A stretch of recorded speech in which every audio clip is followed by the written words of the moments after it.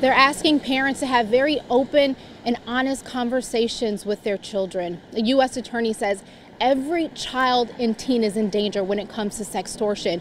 And we're seeing statistics that say from 21 to 22, the, the allegations have tripled. And that's why the FBI is really amping up its investigations and asking any victims to come forward.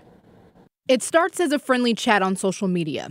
Conversations between a minor and a stranger eventually turn sexual, sometimes leading to an exchange of pictures, and then the threats of exposure begin if the minor doesn't provide money or sexual favors. It's called sextortion, and its victims are multiplying. The rapid rise of sextortion across Michigan, across the United States, is, of course, a very deeply disturbing trend. According to the Department of Justice, 3,000 U.S. minors were targeted in 2021. One of the victims, a 13 year old girl from Grand Rapids, who was coerced into having a sexual conversation with a 21 year old man, Brandon Hu Le, from Florida. He then took a screenshot of the sexual portion of that conversation and threatened to publicly post that conversation online. Le is now facing charges out of Clinton County. This incident happened back in 2019, and the government fears Le has many more victims, releasing this list of Snapchat names they believe he's used over the years,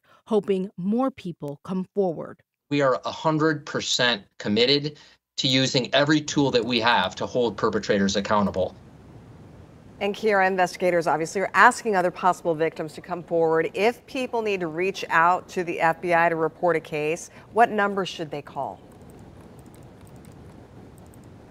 They're asked to call 1-800-CALL-FBI. And Alicia, as I mentioned, they're really upping their investigation. They're also putting out a list of safety tips, how young people should uh, operate on social media. So we'll have that full list on our website at WXYZ.com. In Detroit, I'm Kira Hay, 7 Action News. 1-800-CALL-FBI. Kira, thank you again for your live.